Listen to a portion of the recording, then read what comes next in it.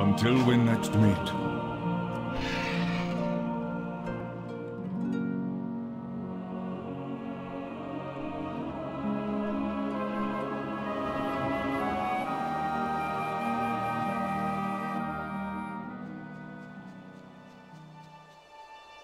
Nature seeks balance in all.